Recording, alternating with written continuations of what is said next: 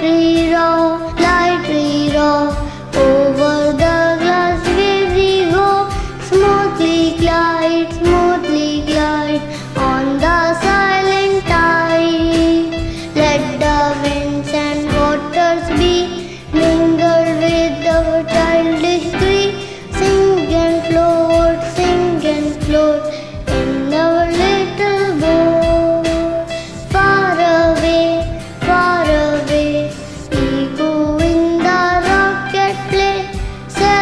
not, sell it not to this lonely spot.